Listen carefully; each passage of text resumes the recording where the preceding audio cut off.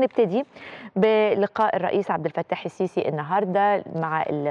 معالي السفيرة مشيرة خطاب مرشحة مصر لمنصب المدير العام لمنظمة اليونسكو. السفير علاء يوسف المتحدث باسم الرئاسة قال إن الرئيس خلال اللقاء ده أكد على دعم مصر الكامل لترشح المشير السفيرة مشيرة خطاب لمنصب مدير عام اليونسكو ومعالي السفيرة من جانبها أعربت عن تقديرها لقيام الدولة بترشيحها لهذا المنصب الدولي الهام وأيضا أكدت على دعم الاتحاد الإفريقي ليها في الانتخابات المنتظر إنها تحصل السنة الجاية. وخلال اللقاء تم تطرق للمحاور اللي بتقوم عليها حملة مشيره خطاب الانتخابية سواء من خلال الاتصالات أو الزيارات الخارجية اللي بتقوم بيها لعدد من الدول الأعضاء في المجلس التنفيذي لليونسكو، كمان اللقاءات اللي عملتها مع المسؤولين في الدول دي علشان تعرض برنامجها الانتخابي وإزاي هتشتغل على تعزيز دور اليونسكو.